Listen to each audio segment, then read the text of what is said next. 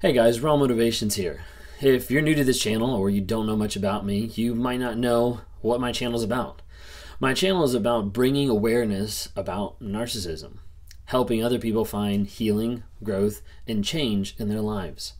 Part of the reason why I'm doing this is because I've been on the opposite side of this, where I've been the person who's destroyed lives. I've been the person who's hurt many people been the person who's hurt my wife, that's hurt my family, that's destroyed relationships and friendships. And I don't want to do that. I don't want to be that person anymore. So each day I strive to try to bring awareness to what narcissism is, the shit that people go through who are dealing with a narcissistic person. Well, the person that comes in their life and abuses them, when a person that comes in their life and hurts them, whether that's emotionally, physically, mentally, sexually, whatever it might be. And a lot of times you see abuse after abuse after abuse happen in different families and in different households when they're with someone who has the traits or the tendencies of a narcissistic person. For me, I'm on this platform, like I said, to bring awareness, growth, healing, and change to people out there. And I do that in two different ways. I do that in talking with people who have been in a narcissistic abusive relationship and they're either stuck trying to get out of it or they just came out of it. And I work with those survivors trying to talk to them about the narcissism, trying to talk to them about the trauma, trying to talk to them about the bond that gets developed when you're with that person. It feels almost like you're addicted to going back to this person time and time again. I also talked to a couple other sets of people, and that's narcissists. Not very often, and they normally don't come back. But I do put that out there for people who want to get help. I do communicate with them and try to help them, point them in the right direction of healing to get to that correct journey of where they need to go in life. I'm on this platform to bring awareness, growth, healing, and change. As I'm on this platform, there's also a lot of life that's going on outside of what you see on the camera. There's my own work there's my own content creation. There's my own coaching. There's me as a father. There's me as a husband. There's me as a friend. There's me as a person that goes to church. Like, there's all these different facets and aspects of my life that I normally don't want to open up about because that touches on that vulnerability. I was talking to my therapist the other day, and she said, like, vulnerability is your kryptonite. Like it is not what you want, not what you want to see because you feel like it's going to paralyze you. It feel like it's going to just harm you. And it's true. Like that vulnerability feels pretty awful. And if you haven't seen some of the videos, there's a couple videos about vulnerability and how it feels sometimes for me, but how it feels for people in general. What vulnerability feels like. So let's talk a little bit about narcissism and how it affects me in the aspect of dealing with parenting can be very difficult, and there's a lot of people who have been brought up by narcissistic parents. So, for me, learning about narcissism and learning and understanding more of the traits and the things that I have in my life that's going to hurt and damage other people, I have to start thinking through how do I actually process this? How do I actually work through this so that my daughter doesn't become narcissist or that my daughter grows up with strong healthy boundaries to get her to be the person that's not going to end up with a person like me that can be very difficult. And probably one of the biggest things, you could probably guess, probably one of the biggest things for me to be able to connect with and figure out and work with is that aspect of empathy. Of empathy when I see something, when I hear something, when something's going on, is that aspect of empathy that's really hard for me to latch onto. So, our daughter, she's two and a half right now, as the time of this video is being done.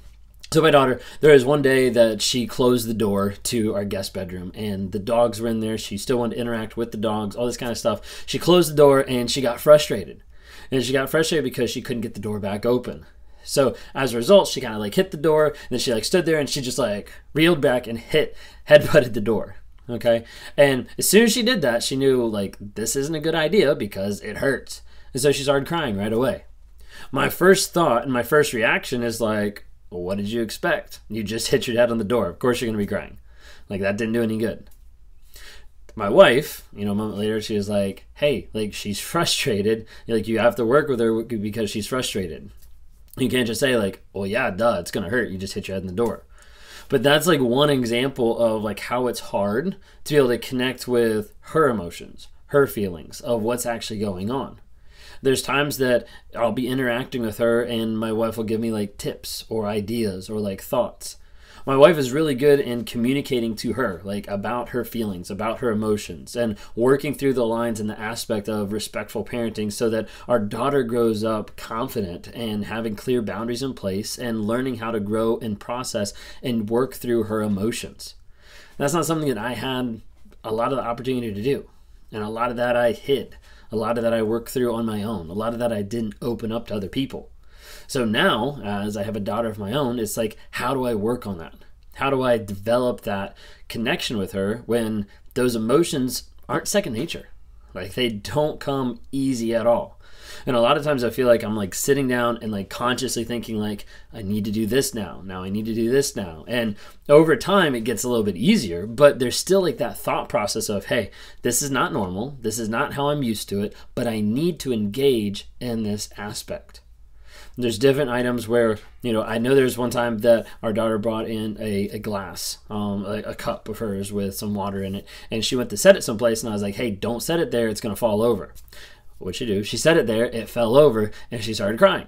So my first thought is like, what did you expect? Like I told you not to do it, but you did it, so like there's nothing to cry about. Like it's your fault that you did it. Okay? Like that's all that's going through my head. But I know cognitively like I can't just do that because it's not going to help. It's not going to help her emotions. It's not going to help her thought process. And It's not going to help her understand like, hey, like it's okay that the glass fell. It's okay that you dumped water on the floor. Like, but let's think of how and where we could put that cup next time so that it doesn't do that. Now, I'm saying to you this now, but it didn't come in that moment. There was no thought of like, oh, let me come and like help you. It was just like, seriously? Like, I told you not to do it, you did it. Like, that's what's going through my head. So then I have to think through cognitively, like, hey, what would my wife do in this situation? Okay. Well, she'd have to comfort her. She'd have to help her, and she'd have to help her walk through her feelings, and get to the place to understand, like, hey, like this is okay. It's okay that you messed up. It's okay that you did this. It's okay, and give her the capacity to feel safe in messing something up, or in failing at something, or in getting frustrated that she can't figure something out. And when you provide that capacity, that uh, ability for someone to say, hey, it's okay if you try something and you mess up because you're not going to get shamed for it. You're not going to get blamed for it. You're not going to get ridiculed or scolded or anything like that. It's okay. And that's something that I have to work on as a parent. Not that I'm actively thinking, like, oh, I need to shame my daughter, or oh, I need to tell her, like, she did everything wrong, or anything like that. But the actual thought process of being like, what did you expect? You know, you kind of deserve that because you did this. You know, A plus B equals C. So, like, obviously, this would have happened. She doesn't have that cogni- not cognitivity yet. Like, she doesn't have that emotional capacity yet to be able to handle and process some of those things. So, as a parent, that's where I have to also work on trying to make sure that I'm trying to help her reach those levels of empathy. I'm trying to help her be able to process those challenging moments when she can't open the door or when she dumps her water on the floor. I have to help her process those emotions so those emotions don't take over the moment and she's able to understand like, hey, you're not the sum of what you do, you're the sum of who you are. And let's work on those emotions. Let's work on that thought process. Let's work on those things to guide you to be the best person possible and not just someone who's made up of thinking that they're a failure or shamed or ridiculed or devalued because of something that she did. Is that easy? No. Do I mess up? Yeah, I mess up a lot. But the difference is I'm starting to learn and I'm starting to identify and have cognitive ideas of, hey, this is what's supposed to happen. And as I start to Im- implement those over and over and over again, there's a small aspect that as I keep do- implementing it, it slowly gets a little bit easier, a little bit easier. Maybe not natural sometimes, but it gets a little bit more easier of not having to sit there and think, okay, she's crying. Now I need to hug her to be able to show her that I care, even though she did something stupid. Like that's like the thought process sometimes. And so, like as it progresses, I need to start realizing, okay, like now's my time to be able to engage with her so she feels safe in this environment to be able to express how she's feeling and then be able to work through that so that she can find a place where she feels safe to express how she's feeling, what she's doing, and understand hey, there's other options. There's other solutions for us to figure out the problem that you're facing when you can't get that door open or when you feel like a failure because you dumped your glass. I hope that makes sense. Uh, that's just kind of like a little spiel of me talking about trying to be a dad. and it's not easy and it's not easy to engage at that level. It's not easy to interact. It's not easy sometimes to figure out how I'm coming across is not helpful or is not safe or is not giving her that capacity to feel those emotions in different aspects. So, hopefully that helps a little bit. Um, I can talk a little bit more. Not sure what people want to hear about that, but that's one aspect of me. Uh, I do talk to people, like I mentioned, all the time. Either narcissists, a majority of the time, people with narcissistic abuse. If you're interested in talking, there's a link in the bio. Would love to talk to you more. Uh, follow me on Instagram, TikTok, uh, Facebook. Would love to see you there, or just go on at least rate the podcast on Apple or Spotify. Anyways, that's all I got for today. Thanks, guys.